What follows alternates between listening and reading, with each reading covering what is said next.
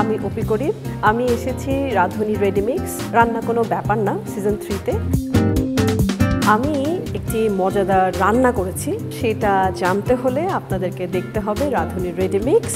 রান্না কোনো ব্যাপারই না সিজন থ্রি Wow.